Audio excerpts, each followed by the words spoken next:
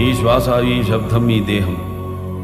నా గమ్యం నా గమనం ఆగమనం ఆ ఆది దంపతుల అధీనం. ఈ జన్మ శివార్పితం మరు జన్మ శివ శాసనం శివ మంగళ భవ పింగళ దిగంబర స్వయం